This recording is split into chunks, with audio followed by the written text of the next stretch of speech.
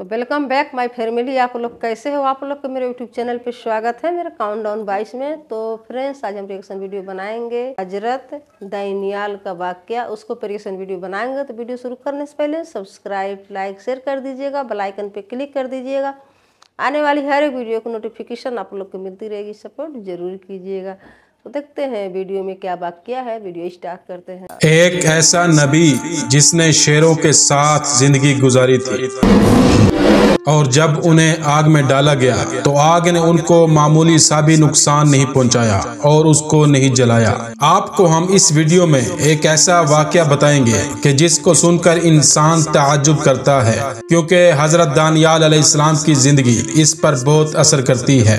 हज़रत दानियाल इस्लाम खुदा के भेजे हुए नबी थे। मिलाद से 2500 साल पहले पांचवी कर्न में बैतुल मुकद्दस के शहर में पैदा हुए। हज़रत दानियाल इस्लाम इशराफ जादों में से थे।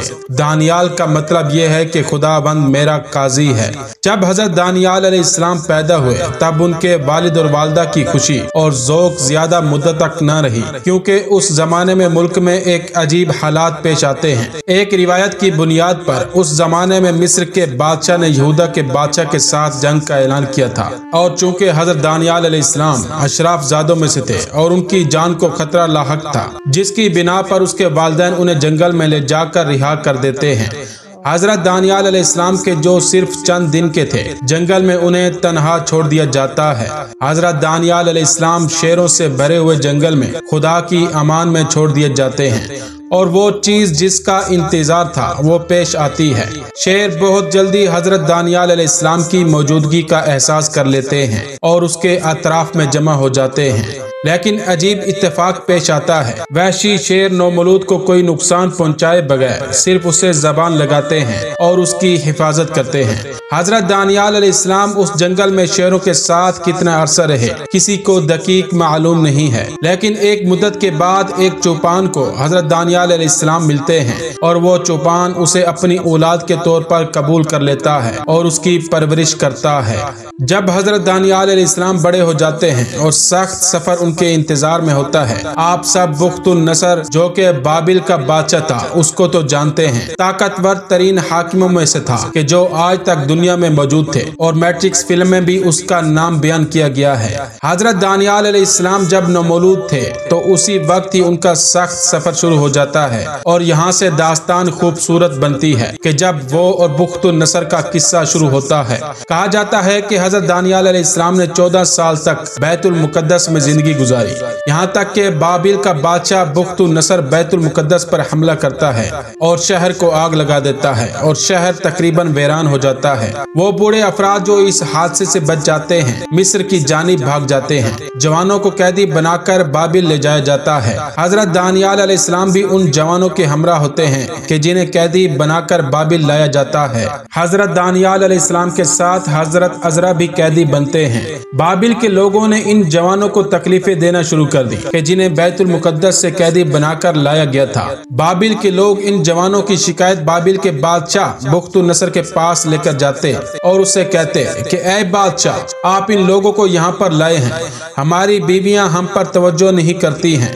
और उनका सारा होशो हवास इन जवानों पर है। या इनको यहाँ से बाहर निकालें या इन्हें कत्ल कर दें। बुख्त नसर उनकी बात सुनने के बाद उनसे कहता है कि जो कुछ करना है कर लो। इस बात का मुझसे कोई ताल्लुक नहीं। बुख्त नसर इस बात के बाद तमाम जवानों को शहर के मैदान में जमा करता है। जिस वक्त ये जवान अपनी आखिरी साँसें ले रहे होते हैं, बुख्त नसर कहता है कि रुक जाओ। मुझे वो चार जवान चाहिए। उनको आज़ाद करो। चार जवान आज़ाद हो जाते हैं और बाबिल के लोग बाकियों को कत्ल कर देते हैं। उन चार जवानों में एक हज़रत दानियाल इस्लाम थे और दूसरे हज़रत अजरा इस्लाम थे। बुख्त नसर उन जवानों को अपने महल में ले जाता है और अपने वज़ीर को बुलाता है और उसे हुक्म देता है कि इन जवानों को खुद अपने पास रखो और इनका ख्याल रखो और इन्हें ज़रूरी ट्रेनिंग दो ताकि मुस्तबिल में इन्हें महल में काम पर रखा जाए। और वज़ीर को हुक्म देता है कि इन चार जवानों को मेरे ही खानों में से खिलाओ और इनको मेरी मखसूस शराब देना पीने के लिए। वज़ीर इन चार जवानों को अपने साथ ले जाता जाता है और बादशाह के हुक्म को इजरा करता है। वज़ीर शख्सी तौर पर खुद उन जवानों के काम की निगरानी करता है। लेकिन हज़रत दानियाल इस्लाम और दूसरे जवान हज़रत मूसा इस्लाम की शरीयत की पैरवी करते थे और उन चीज़ों से परहेज करते थे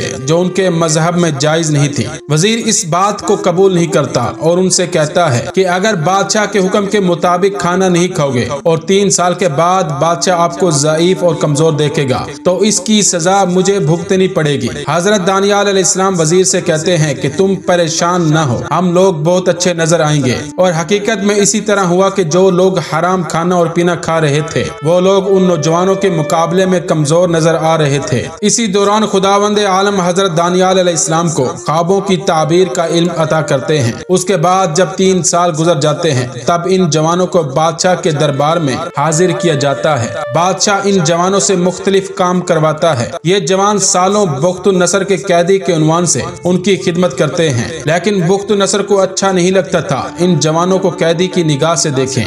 बुख्त नसर हज़रत दानियाल इस्लाम को खुद का वज़ीर बनाता है और इस दौरान खुदा हज़रत दानियाल इस्लाम को पैगम्बरी मबूस करता है। बाबिल के लोग हज़रत दानियाल इस्लाम की जासूसी करते हैं और हज़रत दानियाल इस्लाम की रफ्तार और किरदार को देख कर उन लोगों से बर्दाश्त न हुआ और इन्होंने कोशिश की कि हज़रत दानियाल इस्लाम को बदनाम करें और बुख्त नसर को हज़रत दानियाल इस्लाम की नस्बत बदजन करें। और बुख्त नसर से जाकर कहते हैं कि, ऐ बादशाह, तूने इस शख्स को खुद का वज़ीर बनाया है, लेकिन वो पैगंबर की तरह रफ्तार करता है। इसके अलावा वो शराब जो आप पीते हैं, वो हरगिज नहीं पीता। बुख्त नसर इस बात को सुनने के बाद फ़ौरन हुक्म देता है कि शराब को लाया जाए और हज़रत दानियाल इस्लाम को दी जाए, ताकि वो उनको पिए।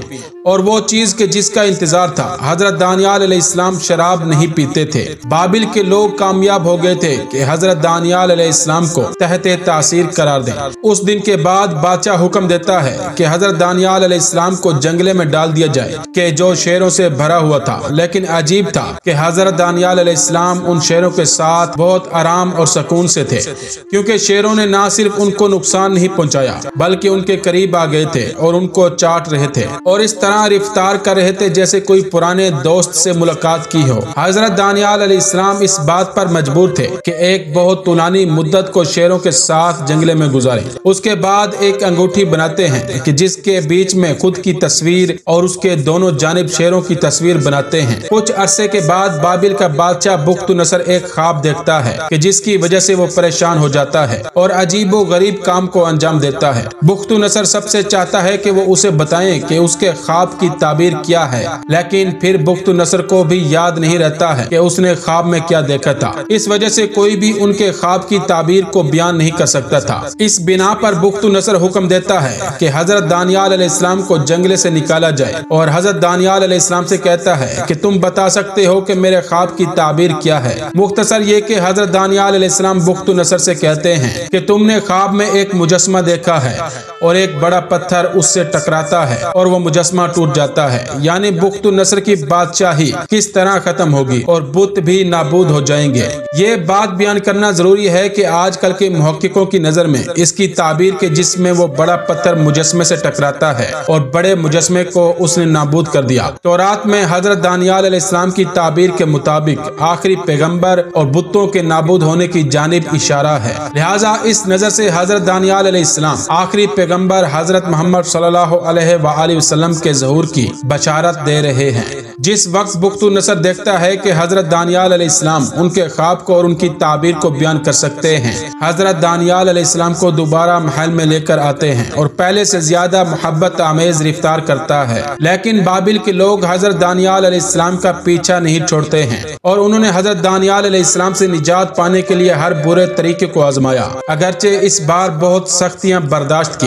लेकिन फिर भी बुख्त नसर को राज़ी कर लिया और बादशाह के हुक्म के मुताबिक एक बहुत बड़ा मुजस्मा बनाया गया और उसके बाद बादशाह हज़रत दानियाल इस्लाम को हुक्म देता है कि इस बुत के सामने सजदा करो और इसकी परस्तिश करो और उनसे कहते हैं कि अगर इस काम को अंजाम नहीं दिया तो तुम्हें जलती हुई भट्टी में फेंक देंगे।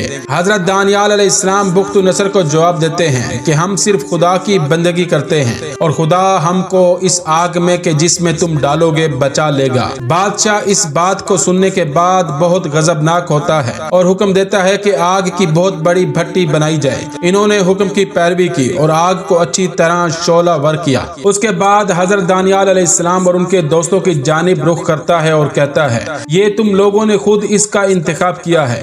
इसके बाद हज़रत दानियाल को उनके तीन साथियों समेत उस आग में फेंक देते हैं और बुख्त नसर चार लोगों की आग में जलने का तमाशा देखने के लिए अपने तख्त का सहारा लेता है। लेकिन बुख्त नसर उस वक्त आग में एक अजीब चीज़ को देखता है। जब गौर से देखता है कि आग में चार लोगों की बजाय पाँच लोग मौजूद हैं और पांचवा शख्स जाहिरी शक्ल सूरत के लिहाज से उन चारों से मुख्तलिफ़ है। कुछ लम्हे गुजरते हैं, लेकिन नज़र नहीं आ रहा कि हज़रत दानियाल इस्लाम और उनके साथी जल रहे हों। बादशाह अपने सिपाहियों को हुक्म देता है कि इन लोगों को आग से बाहर निकाला जाए। हज़रत दानियाल इस्लाम और उनके तीन साथी आग से इस तरह बाहर आते हैं, जैसे आग में थे ही नहीं। बुख्त नसर पूछता है कि मैंने तुम चार लोगों को आग में डाला था, लेकिन आग में पाँच लोग मौजूद थे। वो पांचवा शख्स कौन था? हज़रत दानियाल इस्लाम कहते हैं कि वो शख्स जो हमारे साथ था, फरिश्ता था। बुख्त नसर इन हालात को देखकर ऐलान करता है कि किसी को भी हज़रत दानियाल इस्लाम के बारे में बुरा कहने का हक नहीं है और हज़रत दानियाल आखिरी उम्र तक उनके साथ रहेंगे। इस वाक्य को सालों गुजर जाते हैं और बुख्त नसर बाबिल में इस दुनिया से चला जाता है। और जब हज़रत दानियाल इस्लाम की वफात का जमाना करीब आया तो खुदावंद मुताल ने हुक्म दिया, नूर व हिकमत खुदाबंदी को अपने फर्जंद को सुपर्द कर दो और उसको अपना खलीफा बना दो। चुनाचे उन्होंने तामील इरशाद बारी ताला कर दी। उसके बाद हज़रत दानियाल इस्लाम का भी इंतकाल हो गया और वो वहीं बाबिल में बेमकाम सूस दफन हुए। फ्रेंड्स वीडियो में कितना अच्छा से मतलब दिखाए हैं, बताए हैं कि हज़रत दानियाल के ये वाकिया है, हज़रत दानियाल जो थे, अल्लाह ताला ने उनको भेजे थे, नबी थे। तो कैसे बचपन में जब अल्लाह ताला ने भेजे थे, दिखा रहे वीडियो में कि पहले शुरू में जब आए थे मतलब हज़रत दानियाल तो कैसे बचपन में जंगलों के बीच वो गुजारे हैं, रह रहे थे जो जानवर के बीच में, शेर के बीच में। तो बिल्कुल जो शेर हुए थे, जो जानवर थे तो सबसे दोस्ती कर लिए थे, क्योंकि बचपन सरी वहीं पे गुजारे थे। तो सच में कितना अच्छा लगता है सुन के कि कितनी एक बहुत ज़्यादा एक नॉलेज मिल जाती है कि जो नबी लोग थे कैसे कैसे आए थे इस दुनिया में उन लोग के साथ क्या क्या हुआ था, कैसे कैसे मतलब थे तो ये सब एक नॉलेज मिलती है, एक वीडियो के माध्यम से कितना अच्छा लगता है।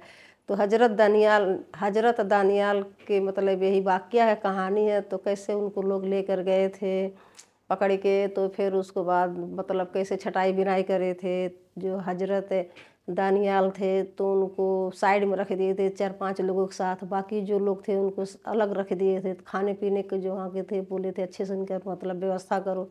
तो सच में जहाँ एक सच्चाई होती है, जहाँ एक उजाला होता है तो बिल्कुल पूरे अंधेरे कमरे के उजाला कर देता है। अगर हम एक दीप उजाला के रखते हैं तो जहाँ अंधेरा होता है तो वहाँ उजाला हो जाता है। तो ऐसा समझ लीजिए, जो भी पैगंबर थे मतलब नबी थे, वो हज़रत दानियाल की एक कहानी था। तो जहाँ भी जाते थे, तहाँ उनकी अच्छाई से पूरे हर कोई अच्छा बन जाता था। कितने उनके साथ बहुत अत्याचार करे, कैसे आग आके भट्टी में डाले गए थे, फिर भी उनको आके अल्लाह ताला ने बचा लिए। किसी के कोई मतलब परेशानी नहीं हुआ था। अच्छे सलामत से फिर बाहर आ गए। तो सच में कहते हैं ना, जहाँ सच्चाई होती है, वहीं जीत होती है। तो सच्चाई की जीत तो होती होती है। भले थोड़ा दुख होता है, इंसान परेशानी उठाता है, मगर सच्चाई तो सामने आ ही जाता है। बुराई तो फेल हो ही जाता है। बुराई तो पहले बहुत ज़्यादा भागता है ऊपर, बहुत ज़्यादा ग्रोथ करता है। बाद में ऐसे बुराई गिरता है कि बिल्कुल ख़त्म हो जाता है।